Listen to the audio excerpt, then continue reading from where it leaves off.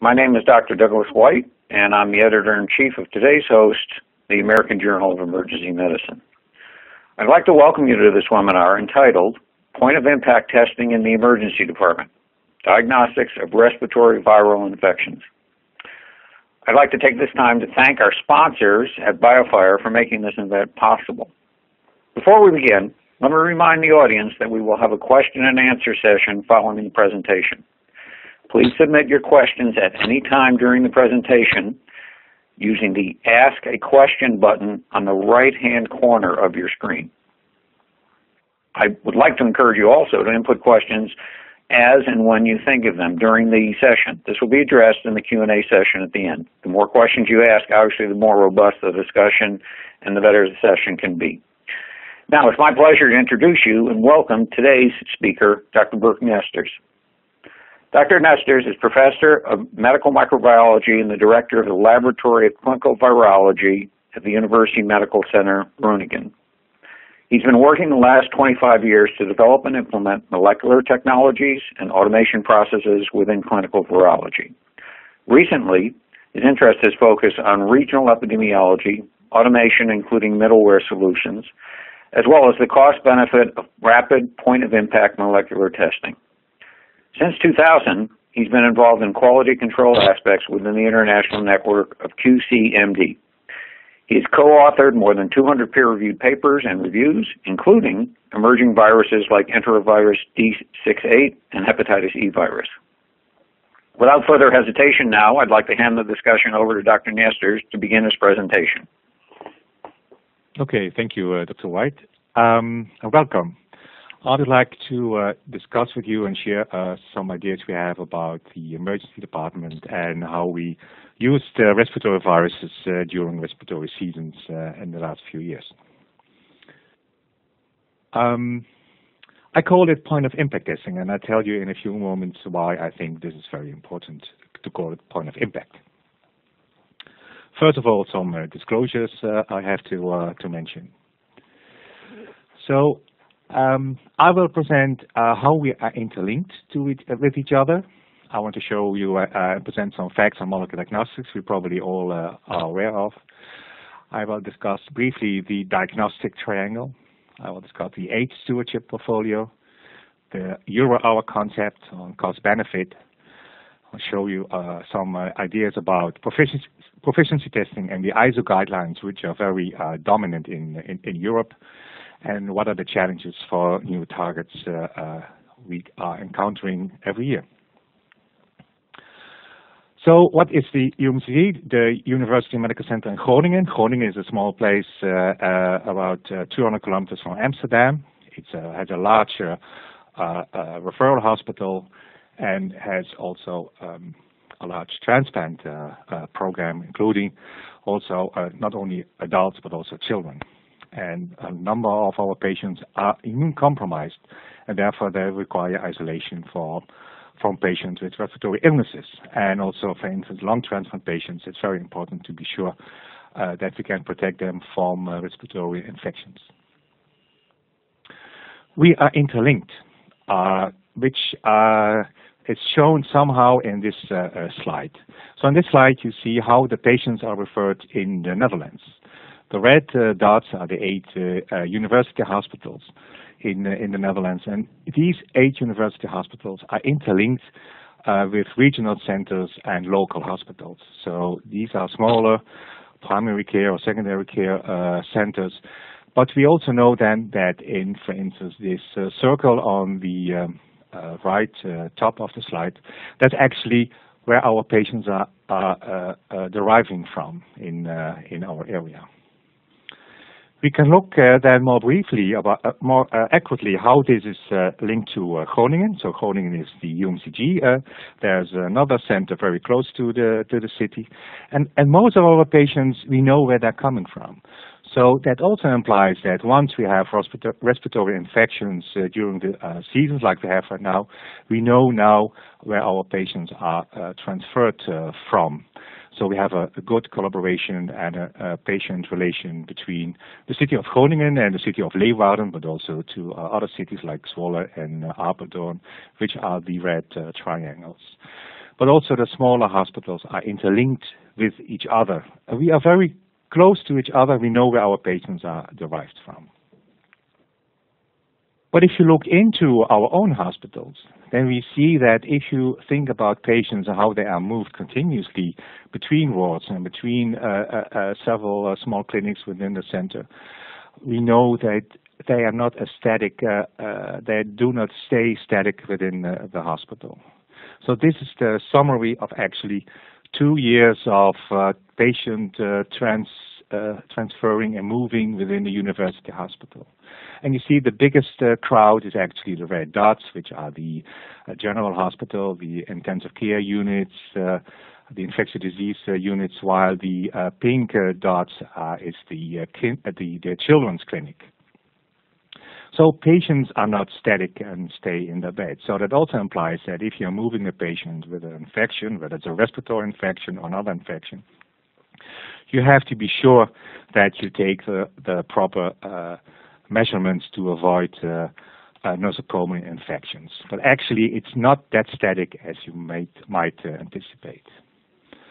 So if there is a referral between uh, uh, between hospitals and actually between uh, centers and within a, a, clinic, you actually also have to be aware that if you want to prevent infections like respiratory tract infections, um, we are uh, moving globally uh, uh, continuously. We are traveling uh, around between Europe uh, and the United States or Asia, and actually patients with an infection can be within the other country within a couple of hours, or actually, actually everywhere within 24 hours.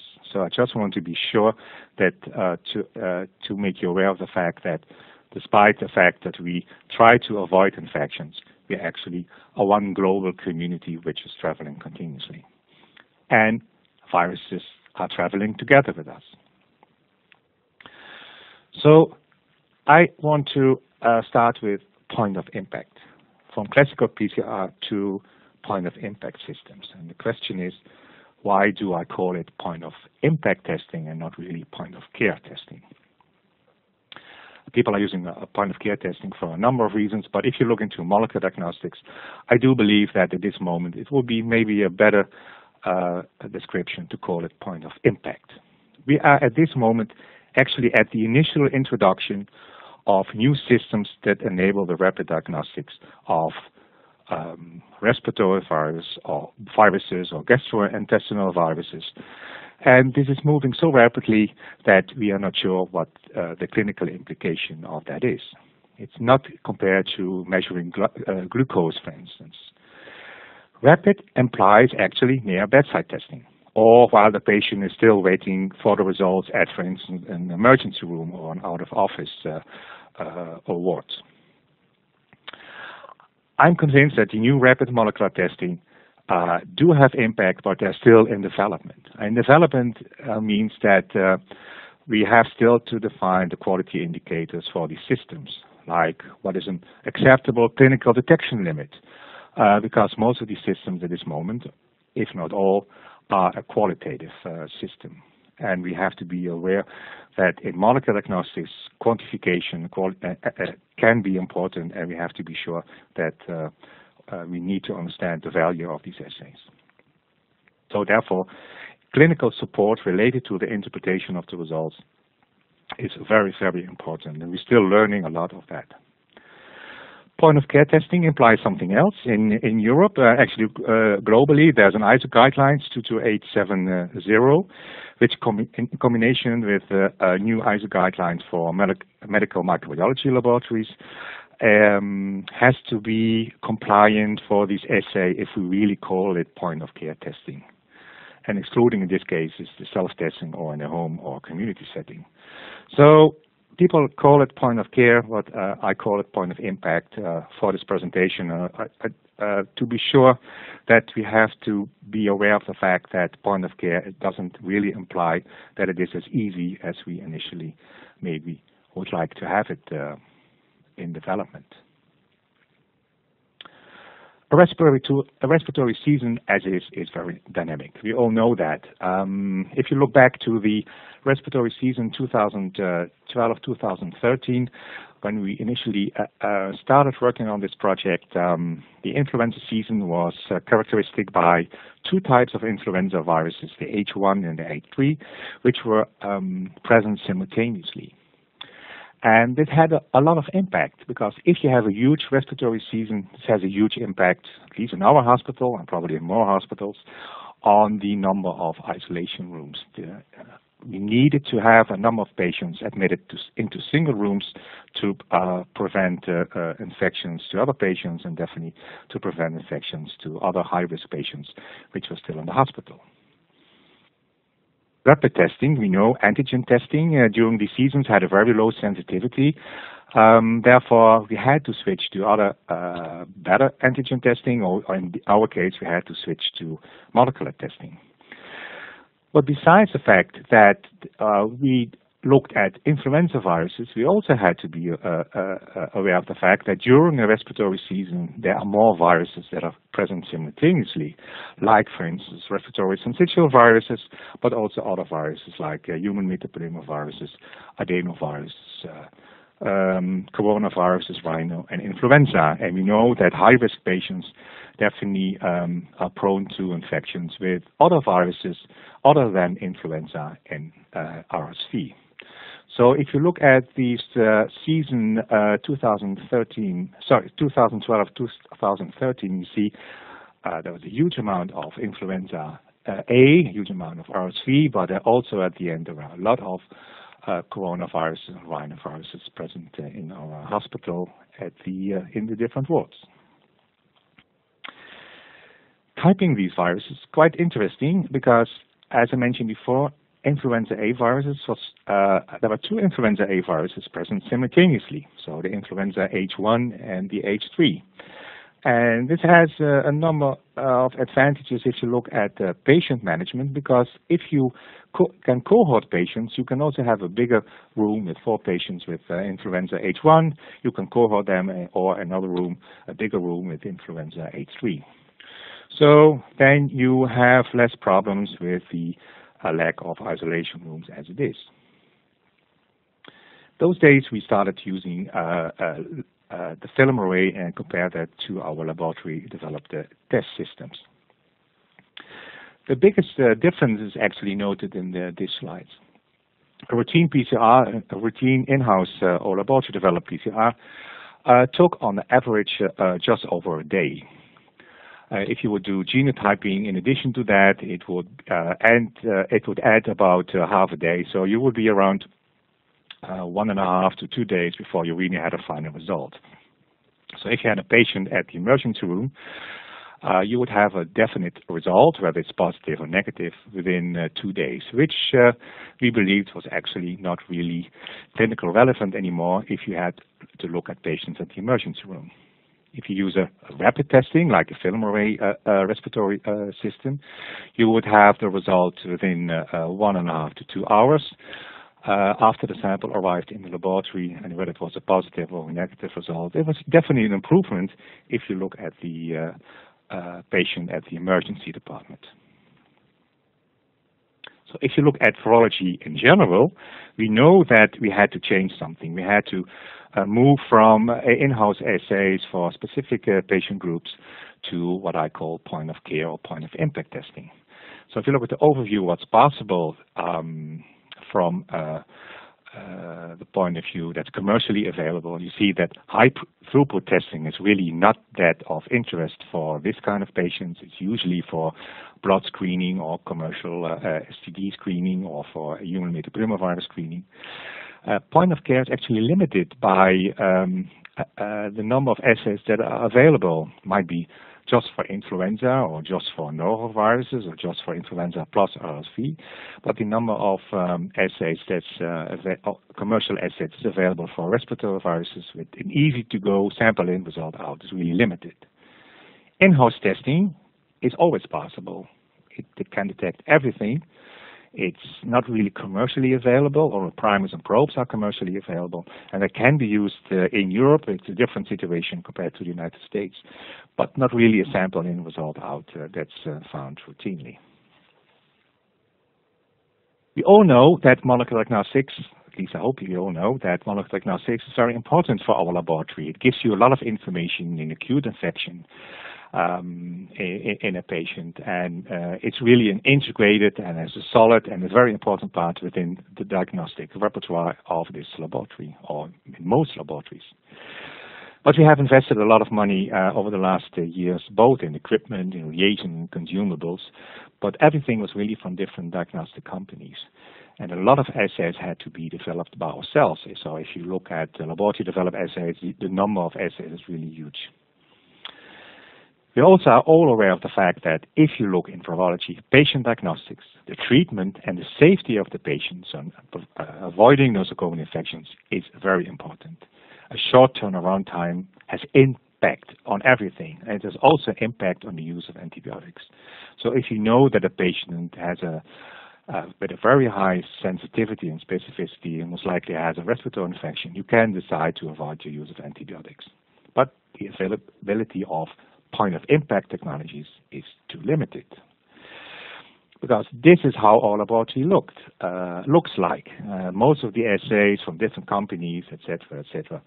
Um, no communication uh, using uh, electronic transfer, no middleware solution. Um, that's really a, a, bottleneck in this area where we should be able to connect everything as this.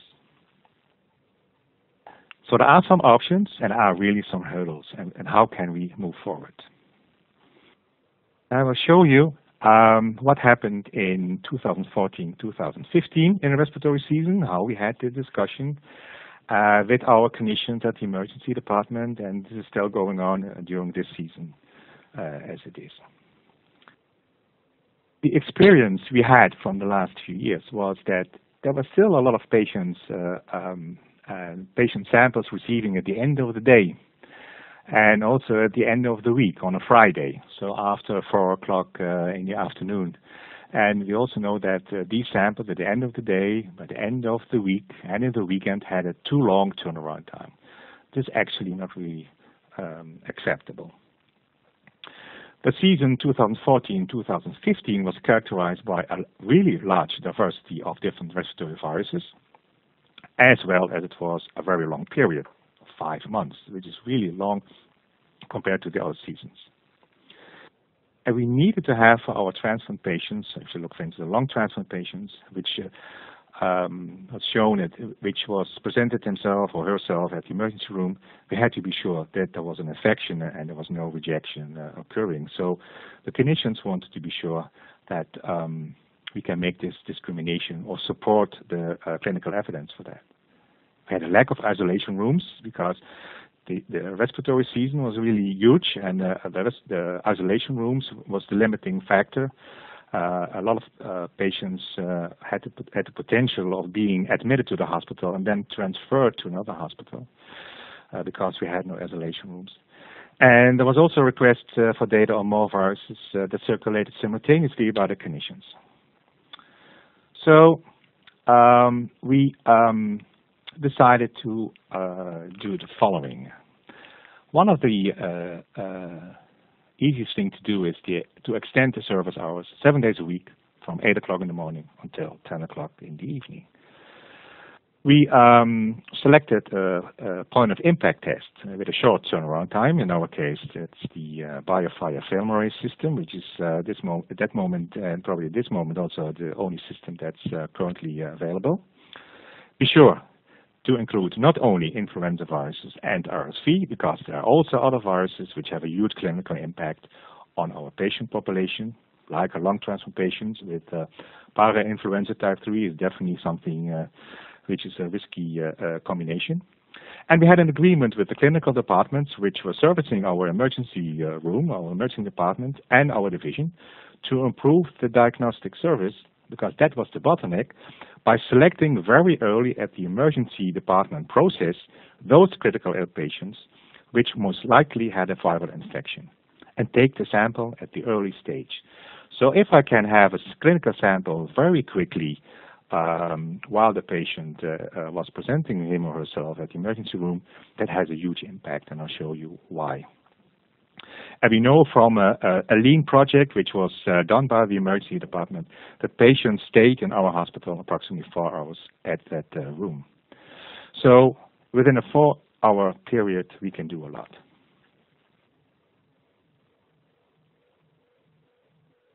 So if you look at the uh, number of uh, respiratory viruses at the uh, in the year in the season 2014-2015, you can see that uh, not all of the um, uh, viruses were detected by using the uh, system, but we also had still a huge amount which were detected by in-house assays because the patients were admitted already at the hospital or we had a different logistic routing for that. In this slide, it shows you which viruses were detected. Besides influenza A, at the end of the season, influenza B, you see a lot of um, uh, RSV, but uh, if you look at uh, week uh, five, starting week five from 2015, you see that a lot of rhinoviruses, human metapneumovirus is becoming more dominant. You see that there's a really a number of viruses, not only RSV and influenza, which were detected using the system. So that again points out the fact that um, it should be discussed that there's more uh, than those viruses uh, that can be detected. And we also have to be aware of the fact that if you have a negative result, so a non-detectable result, that also has a huge impact. So we uh, agreed the following. We counted uh, um, how long the patients were admitted at the emergency department. So once the patient was registered at the emergency department, the first question was take the sample as quickly as possible and we uh, uh, made a note of uh, all time points. And in this slide, you can see how long it took from the patient registration until we had a request for doing diagnostics. And that implies that the physician or the nurse had the clinical sample in his or her hand. So you already can see that within the first hour, 62% of the samples um, were already um, available for uh, presenting themselves to the clinical virology department, which is about five minutes in the tubing system away from the emergency room.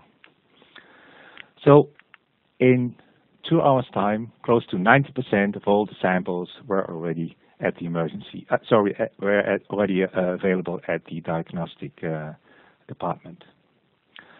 So then how long does it take to um, get a result at the pathology department. So once the sample is in, you can see already that after about 18 minutes, um, the first results are already appearing and they are returned to the physician. Um, at the at the uh, clinical virology department is not only taking care of the sample by itself, but it also you have to do uh, registration in the laboratory information system, so all the data are available. But since we have electronic request system, that's done very rapidly. So within uh, two hours, uh, again, 60% of all the data are um, returned to the emergency room. So within three hours, it was close to just over 90%. So the total turnaround time, that's uh, uh, on the next slide, that's showing from patient registration at the emergency room until feedback to the nurse or the um, uh, physician is actually uh, uh, not too bad. Um, within three hours, 60% of all the data are back, and within four hours, that's the time that the patients on average are at the emergency room. It's uh, over uh, 80%. Actually, uh, once the physician knows that the result will be available within 10 or 15 minutes, uh, they just wait these uh, 10 or 15 minutes. So that works fine. So now we know um, actually um, where we can improve our uh, diagnostics and lean projects uh, in this way to improve the turnaround time. So we know now where our focus is.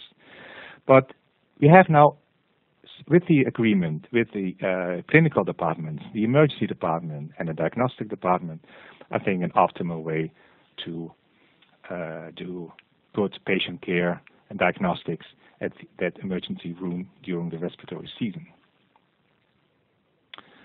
Next slide. Uh, okay. So then the question is, uh, if you look at diagnostics, this is what I call now the diagnostic uh, triangle, there are a number of things very important. Of course, diagnostics itself, you have to make uh, sure that you take the appropriate uh, um, diagnostic uh, process. You have to be sure that quality is good, something uh, which is very important in the different ISO guidelines. But you also have to be aware for this kind of uh, patients that the time to result or the turnaround time is an important issue. And uh, we have improved that uh, uh, in a different way, but by using the laboratory information system and our middleware solution, we can now even text the results from the patient directly to uh, to a phone of the treating physician if the physician cannot be uh, uh, called and, reached as quickly as we anticipated.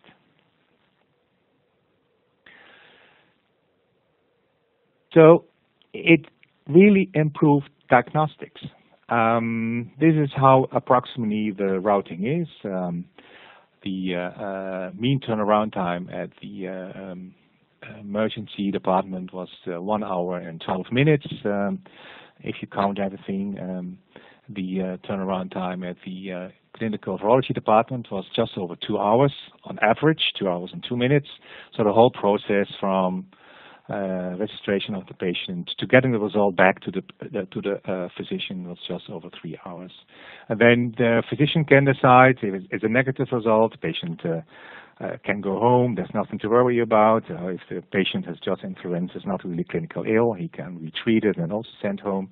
Or if if necessary, the patient can be admitted. But now he or she has the uh, most of the information she actually uh, would like to have. And if you compare that to the previous situation, on the average, uh, it took uh, too long before we got the clinical sample because the physician thought about it the next day or by the end of the day and the turnaround time, therefore, at the um, uh, virology department was too long because definitely if you include the weekend uh, or overnight uh, testing, uh, that was unacceptable for um, most of the patients we have seen.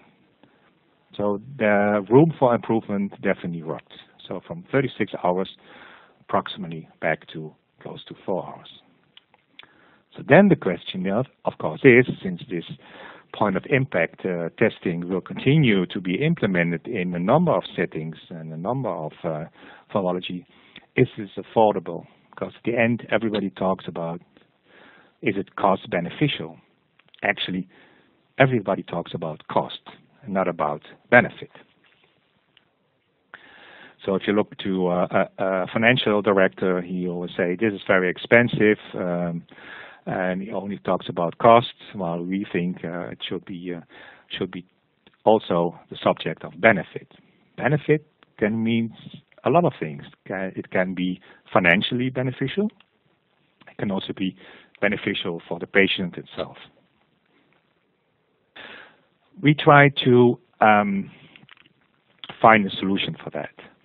One of the uh, um, solution is um, um, that we should discuss the following.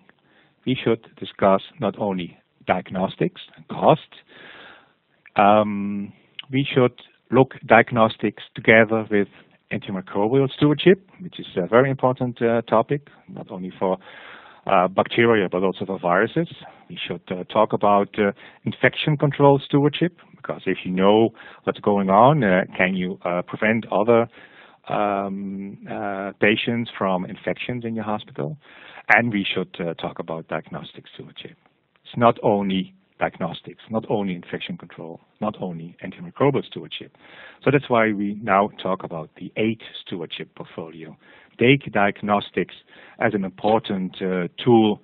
Uh, talk with that uh, to the clinicians, uh, to uh, whoever wants to, to listen to it, and make understand what's the value of diagnostics also the clinical value.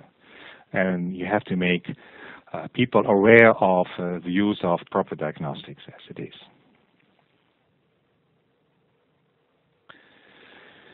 Then the question is, how can you um, make this visual in money.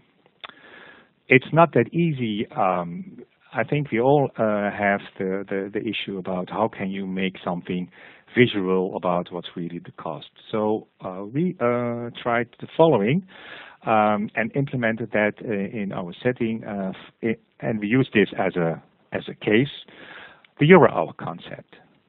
So the euro hour concept is something where you um, combine the cost of an assay combined to the turnaround time. Because this turnaround time is very important. Should you start stop treatment? Should you isolate the patient or not? Can you cohort patients or can the patient go home? So if you combine this turnaround time with the cost of the assay, then we should make, make something new, which I call the euro hour, which you can compare to electricity. If you have a bulb of 100 watts, that's definitely uh, more expensive than a bulb of 3 watts. Um, and the euro-hour concept, concept can be used to uh, discuss benefit. How do we calculate benefit? Uh, that's not always uh, um, that um, that easy. Um, but I think uh, time to result uh, for critical care is important. We, we, I think we all are very convinced about that. We also must be sure that the most important stakeholder is the patient. Um, actually, we never ask a patient, what do you want? Do you want a long or short turnaround time? Because we know the answer. But the patient is also a very important stakeholder. And um, we also have to uh, consider what are the costs of our in-house assay or laboratory-developed assays compared to point of, in, point of impact testing. Um, what are the costs per result? Do we have to uh, hire additional personnel or have to uh, pay additional costs uh, because we extended our working hours? Um, what are the costs of unnecessary isolations because we didn't know that the patient had not an infection, or what are the costs of of putting a patient in another hospital and finding a bed in uh, in one of our regional centers. So that's why I think that negative results or non-detectable results are extremely valuable. So do we know something about reducing nosocomial infections due to a rapid turnaround time? Um, and then very important, um, how do we calculate money that we didn't spend? So if we didn't lose money by avoiding nosocomial infections or that we didn't have to uh, outplace a patient to, another center, we didn't spend that money. But how do we calculate that? And how can we make sure that some of this benefit, it's a benefit, uh, is really uh, visible? So I tried to give you an example about what we think uh, is uh, um, the case in our, our center. So um, with this, this data set I showed you before, we had um, 641 requests from the emergency department and from close to 500 we had all the data. So we know the time points when the patient was registered until uh, you get the result back to the physician. So in the old situation where you only did laboratory developed assays, um, we uh, calculated, and that's approximately, that the result for influenza typing was about 70 euros, and we needed about 120 to 200 euros for uh, the total set of respiratory viruses, including labor, quality control, overhead, equipment and maintenance, etc. That would imply that for these 492 sets of data, we would spend something between 64,000 and 100,000 euros. But we know the mean turnaround time. That used to be 19 hours. And therefore, the point of impact value is um, the combination of time to cost, uh, which is approximately 2,400 to 4,000 euro hour per diagnostic result. That's money in which we combine the cost of the assay or the range of the assay, depends how you calculate, and the time. Using a rapid testing, like the FilmArray system, we needed additional uh, labor cost, which was about uh, uh 6,500 euros. We uh, know how much money we pay for our result. It's about for the FilmArray. Uh, we needed additional labor costs uh, during the weekend, etc. We had the results. So then, if you know the mean turnaround time, that implies that the point of impact value is only 366 euro hours per result. It's always less, but the question is, is it relevant? That's something we still have to find out. The reason is it's more rapid. That's very important. It's more rapid. And the other reason is that um, we don't need we don't need to spend too much money on quality control and uh, equipment and uh, maintenance uh, in our laboratory. So in the old situation where we have this uh, point of impact testing for only the virology department, we see that the result of the in-house assays, as I mentioned, is something between 2,400 and 4,000 euro hours per result, while with the point of impact value with a rapid testing, it's much less. So the benefit for a point of impact assay would be something between 6.8 and uh, 11 times that of a laboratory developed test. Assuming equal clinical value and assuming the same characteristics which you would like to have in your um, laboratory. If you not only take into account the um, diagnostic department, but also the emergency department, then it becomes even worse because the turnaround time at the diagnostic department is now uh, in the old situation uh, combined with the emergency department 36 hours. For the FilmArray, it was uh, on average, the mean was about just over three hours. So you see, if you combine everything uh, in the whole process from admitting, uh, registering the patient at the emergency room until you get the result back, a point of impact testing is even more uh, beneficial compared to in-house testing. Can we really calculate that? It's uh, not that easy. We tried to do that. Um, how do we calculate that? In red, you can see are the costs, and in green are the benefits. So compared to the old and the new situation. So we spent more money on the FilmArray. Uh, but on the contrary, we didn't do any in-house testing and in-house uh, uh, typing, which is something which is also very expensive. We didn't spend that money. We needed additional personnel costs. But we also avoided 181 isolations because a negative FilmArray um, is uh, very important. The question is, how expensive is a bed per day? Um, it's very difficult to get an accurate uh, number of that. Um, uh, in our case, um, we put it at 855 euros a day, but I think uh, it can be even higher. So due to the rapid testing, by avoiding these isolations, we had a benefit of 150,000 euros. Then the question is, how many nosocomial infections could you avoid? There are some data about that.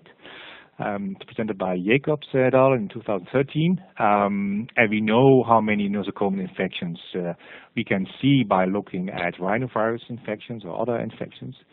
Um, it's about a factor between 0.23 and 0.2. The cost for each infection is 11,230 euros, which uh, is not that expensive, but still very expensive. But uh, we believe that uh, we uh, uh, avoided about 37,000 euros on nosocomial infections by having the proper isolation measurements.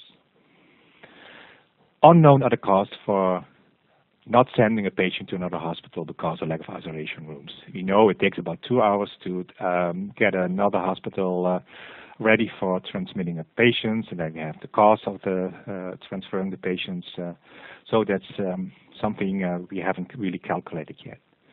But the total cost or the total benefit is green.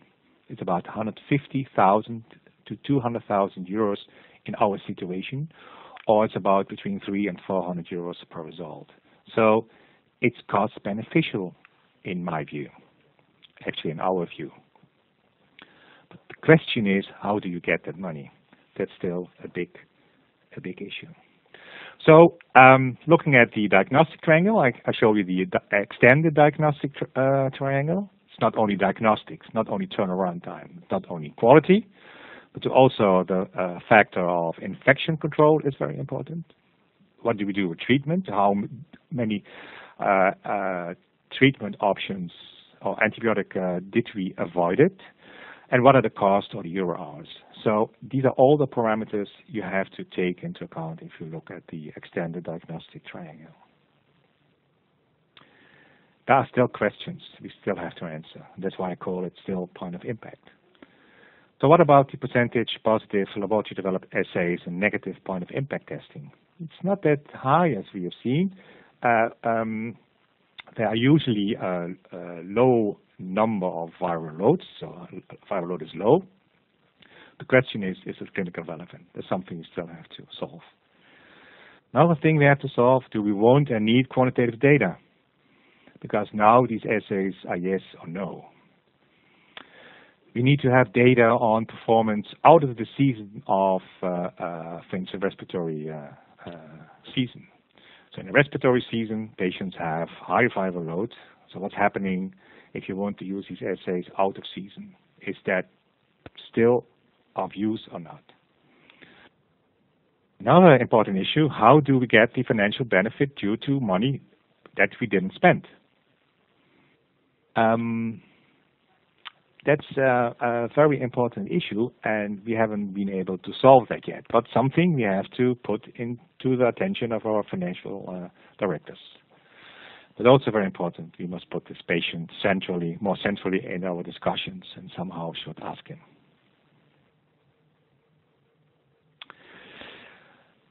Uh, a few final points.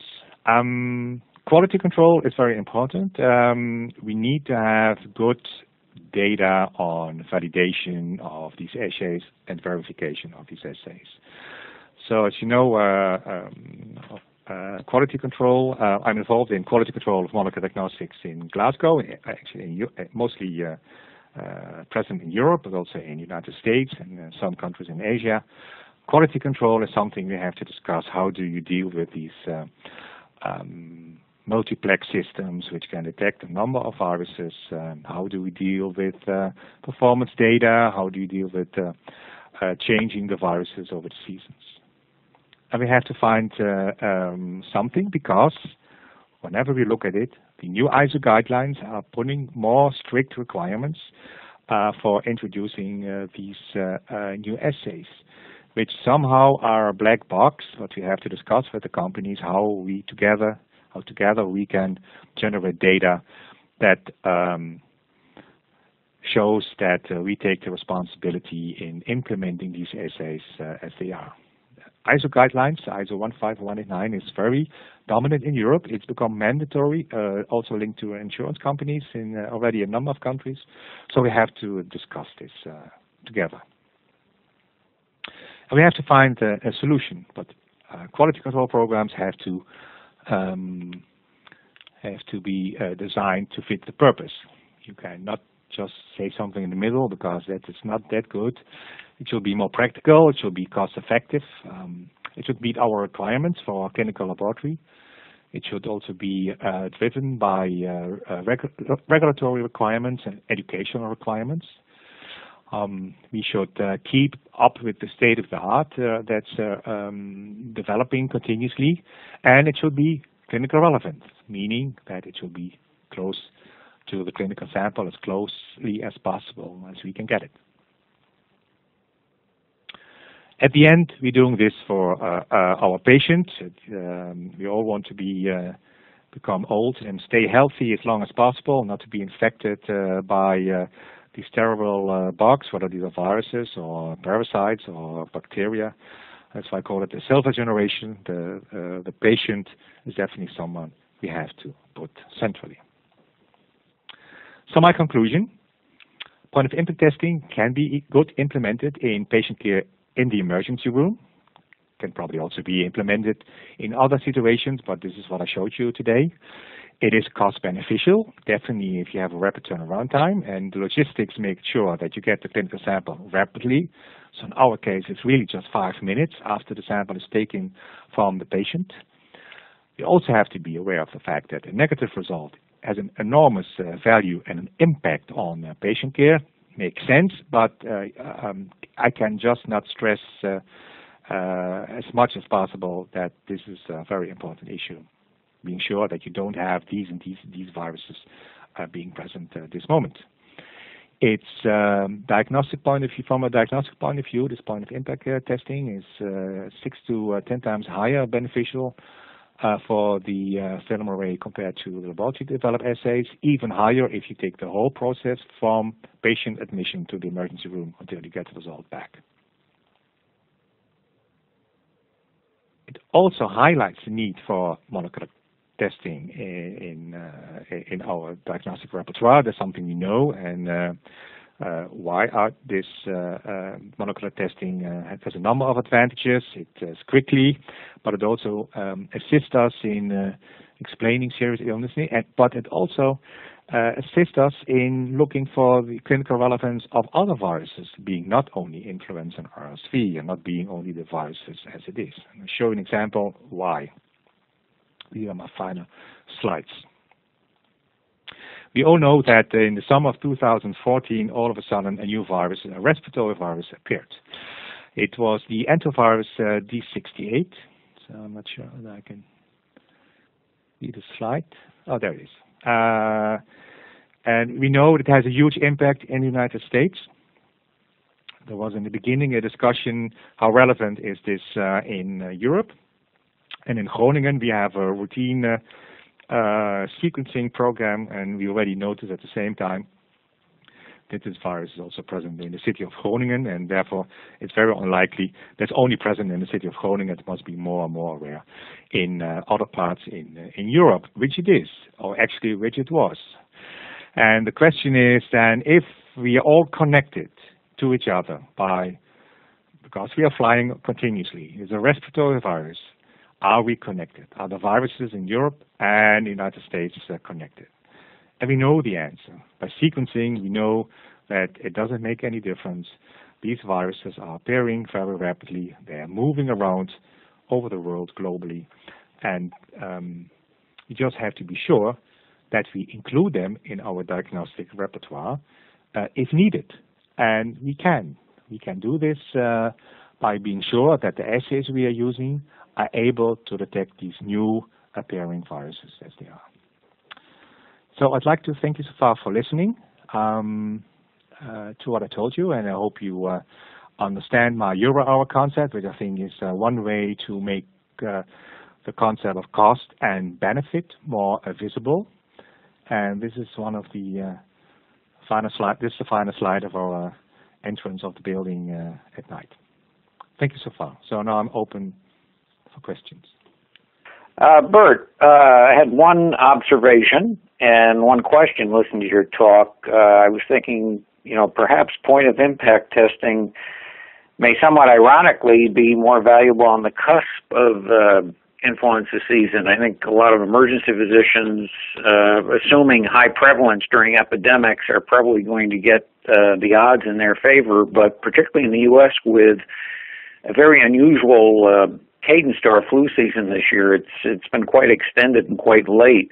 I suspect we're missing more um, of these diagnoses clinically at the beginning and ending of uh, flu season. Uh, so that was just a thought I had. But a question I had was, do you foresee possibility uh, down the line of um, FilmArray or uh, some other on the horizon technology ever evolving into being really uh, what we would call truly um, point of care testing. In other words, driving it down potentially even to the triage nurse level, um, where uh, your euro uh, hour calculation would um, improve dramatically, and we'd be talking about minutes versus hours here. How how feasible is that potentially technologically? You know, in terms of the cost of these devices and um, the size of them.